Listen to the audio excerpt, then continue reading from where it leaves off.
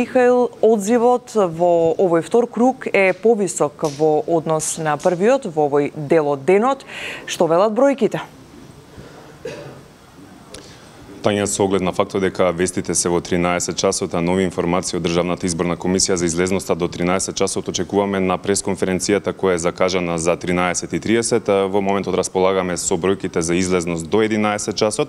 Кога ќе се направи компарација помеѓу првиот и вториот круг, може да се забележи дека во вториот круг излезноста до 11 часот е поголема за речиси 4%, па така во првиот круг излезноста беше 10,22%, а сега истото изнесува 14,18. Доколку гледаме по општини, во општината Центар, во првиот круг излезноста беше 10,47, сега е 16,50, што представува пораст од 6%.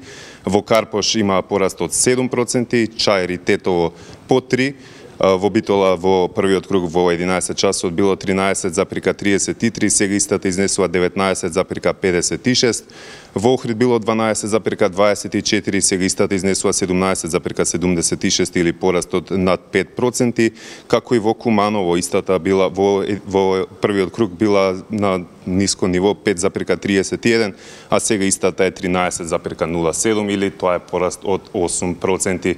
Председателот на Државната изборна комисија Таштевски информираше дека во на 7 избирачки места во главниот град, како и во едно во Чешиново Блешево и во Зелениково имало застој кој траел повеќе од еден час поради технички причини, но по санирањето на истите проблеми гласањето продолжало да се спроведува нормално. Да чуеме Даштевски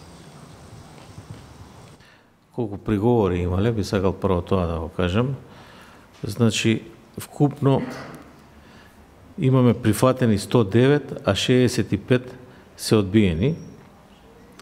А, додека, бидејќи нели до 24 часот рековме дека ние ги одлучуваме, после 24 часот со оглед на брзината ги одлучуваат општинските изборни комисии и во меѓувреме имаме уште 84 кои се испратени таму, од тие 72 се прифатени, а 8 одбиени. Во врска со прекините повеќе од еден час, причините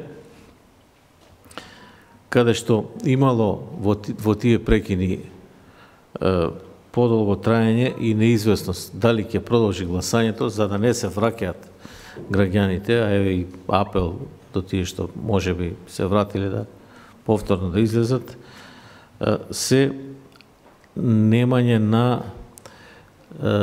мемори, она смарт картичка што се става, немање сигнал. Значи, банални се причините, меѓутоа потребен е, например, сад време да се дојде до тука да се смени. Да, инаку прекините во Скопските општини биле во три избирачки места во општината Сарај, три во општината Центар и еден во Карпош. Тоа се сите детали од, од, од тука, повеќе информации најавам по, од пресконференцијата закажана за половина час од сега.